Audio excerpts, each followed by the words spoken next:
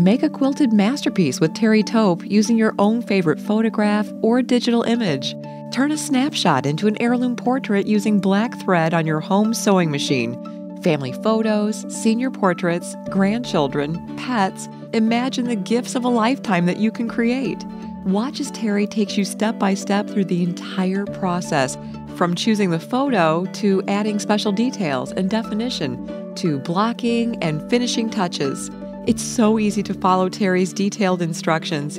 Watch as she carefully outlines the photo. Take your time, enjoy the lessons at your own pace, stitch along, and replay whenever you like. Get comfortable with practice projects to learn the basics of thread sketching you don't have to be a master stitcher.